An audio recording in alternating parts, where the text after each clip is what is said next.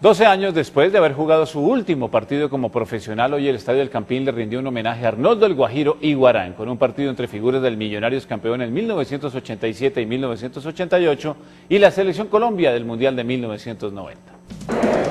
Bueno, a los dos minutos de partido el Guajaro soltó este remate con pierna derecha y se estrelló en el horizontal. ¿ah?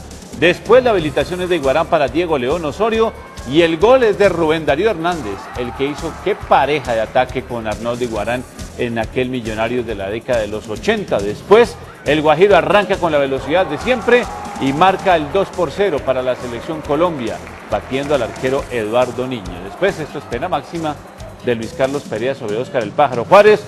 Cobra Willington Ortiz, 2 por 1. Y miren ustedes que la Gambeta Estrada todavía no olvida este recurso. ¿ah? Así hizo un golazo en el Atanasio Girardot con Nacional frente a con Millonario frente a Nacional, increíble. ¿ah? Bueno, Arnoldo Iguarán jugó los últimos 15 minutos del partido con la camiseta Millonarios, entró por el Gato Pérez y aquí está el empate para el conjunto azul. El Toro Medina, 2 por 2, final, venciendo al arquero Eduardo Niño. Se despide Iguarán después de iniciarse en el fútbol en 1978 con el Cúcuta y terminó en el 97 con el conjunto Motirón.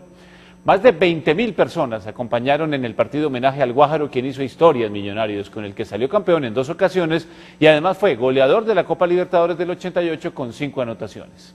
Mauricio. Germán, Arnoldo Iguarán además ostenta el récord de máximo goleador en la historia de la Selección Colombia con 25 anotaciones. Y su gol más representativo fue en la Copa América del 91 en Chile, cuando Colombia derrotó a Brasil 2 por 0.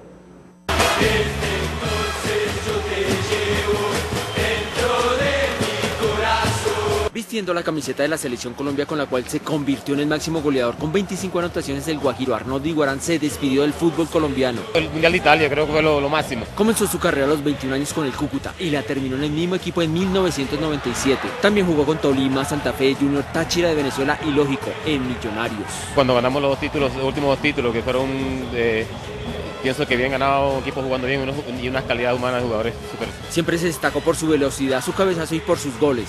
Toda vez que fue el goleador de la Copa América en 1987, donde marcó 4, y en la Copa Libertadores del 88 con 5. Es lo que siempre me gustó, pero feliz, feliz por, la, gente me ha profesado y que sé que estoy seguro que me quieren. También fue uno de los mejores jugadores de la selección Colombia.